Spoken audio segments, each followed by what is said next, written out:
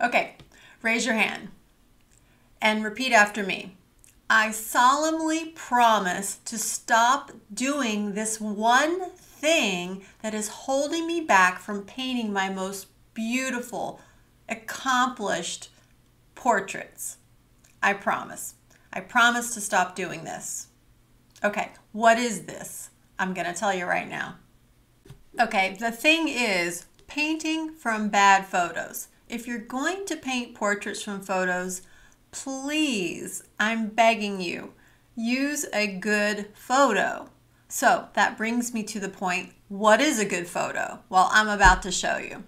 Hey guys, hang tight till the end. I've got a special offer coming your way. Here's a good photo that you can paint a portrait from. It has a single light source, which makes it very easy to understand where the shadows are on the face. And you need to be able to see shadows on the face in order to have something to describe the volume and the shape of the person's face. If you don't have a situation like this where there's a single light source and you have some good shadow definition, then your portrait is going to be poorly lit and it's going to result in a bad portrait painting that looks flat like a cartoon. Now we understand what a good photo is. Let me show you some of the photos that I have seen actual students try to paint from and they wonder why they are struggling and pulling their hair out and screaming and crying about, you know, it's so hard, it's so hard to paint portraits. Well, yeah, it's hard when you're painting from this horrible photo that you can't see anything in, you can't see any detail. The photo's this big or it was taken a million years ago with like the oldest Polaroid known to man and it's crumbled and fading. But here, I'm going to show you some of the worst photos actual bad photos that I've seen students try to work from. This is a bad photo because look at the shadows, how most of the area of the mouth and in the nose and the eyes are set into the shadow. You can't see really any good detail in the features. This is a classic no-no. Bad photo. Don't try to paint portraits from a photo like this. If there's something about this photo that you really love and must try to capture in a painting, then perhaps you could recreate the photo or find, you know, a, a, setting where you could get these women together and take the picture again with better lighting. I mean, there's got to be ways to work around this. Even the most accomplished portrait painter would have difficulty pulling a really good uh, portrait painting out of this photo. And here's another one. Too much shadow. The eyes are squinty. You can't see the detail of the features. It's just not going to produce a good portrait painting. Don't use this photo. Here's another bad portrait photo. This has too much light and way too much smile.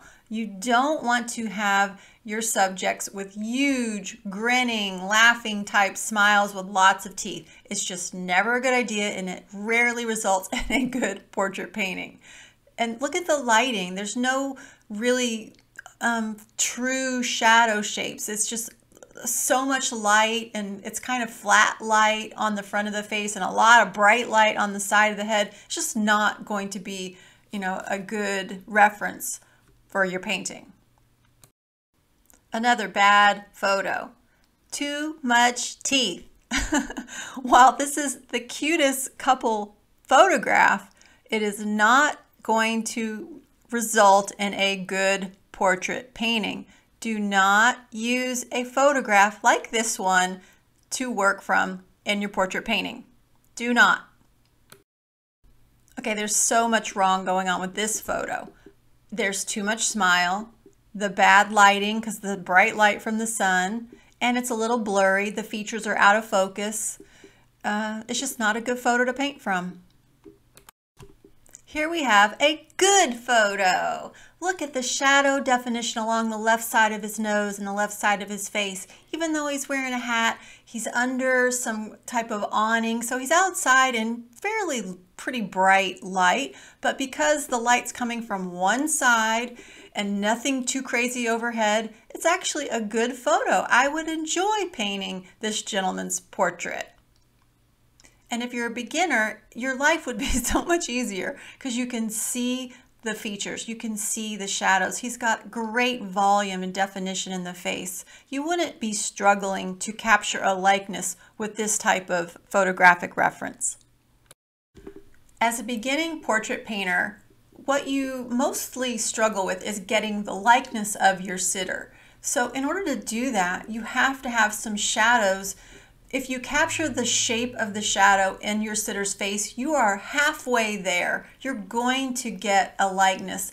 If you don't have these shadow shapes to work with in your photo reference, then you're definitely going to struggle, especially as a beginner portrait painter. So look for photo references that have good shadow definition and it will make your job of painting this this person's portrait and getting their likeness so much easier. You're going to enjoy, you're going to have fun, you're going to be happy while you're painting, and you should be. That's what painting portraits is about. It's a joyful thing. It shouldn't be a horrible struggle and a fight with your canvas. It should just kind of feel like it's part of you and it's natural, and it will.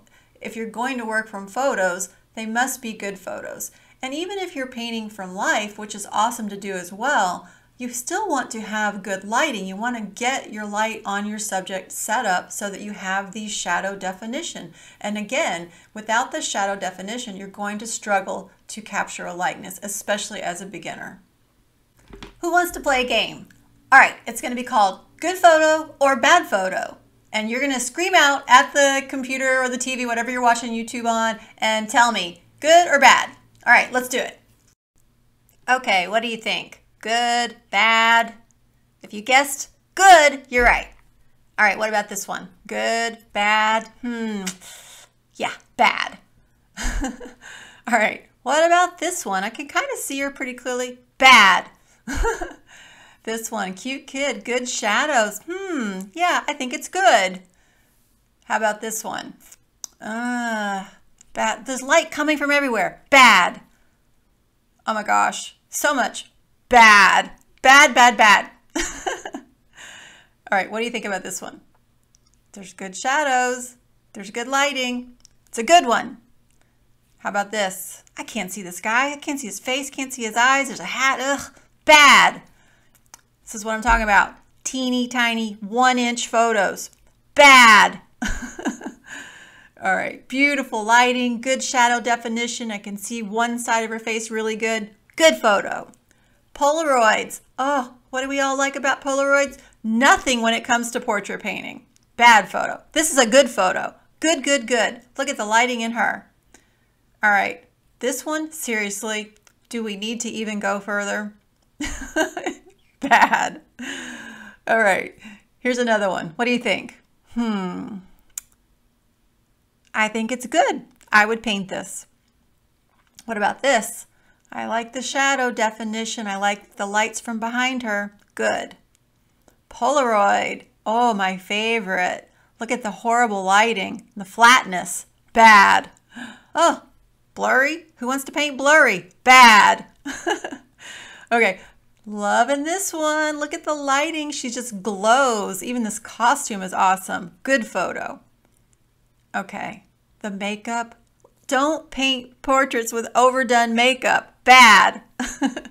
I can't see them. It's a cute picture, but no, bad for a portrait. All right, there's a theme here. Are ever pictures from cars good to paint from? No, it's bad. Another one, car photos, lights coming in from every which direction. Bad. Studio lighting, good.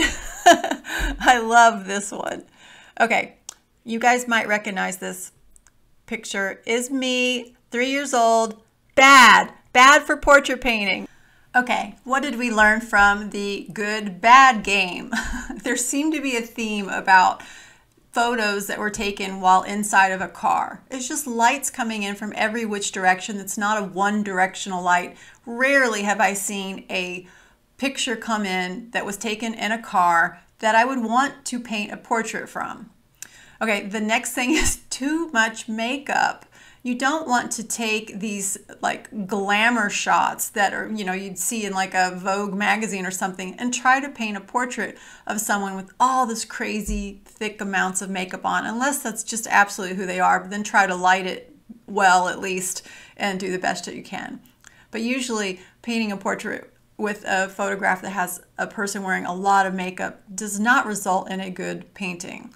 Point and shoot cameras such as the Polaroid um, usually, you know, the, the picture's taken from directly in front of the subjects. The light is just smacking you right in the center of the face. There's no good shadow definition. Rarely have I ever seen a point and shoot camera do a good job of taking a reference photo for a portrait painting.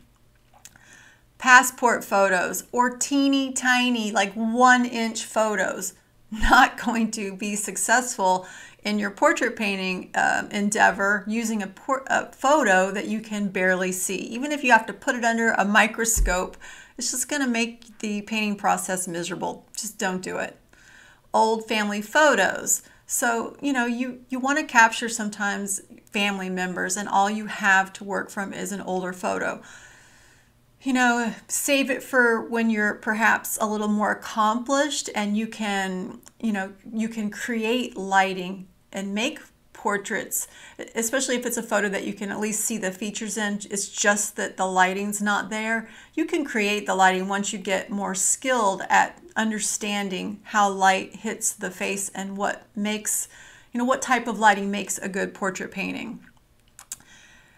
Casual pictures where the subjects are kind of far away, like that one where the couple was on the couch. It was a very cute um, picture for a photograph, maybe for a figurative painting where it's not important to see their face in you know a lot of detail. But as far as a portrait painting goes, just not going to give you the results that you want.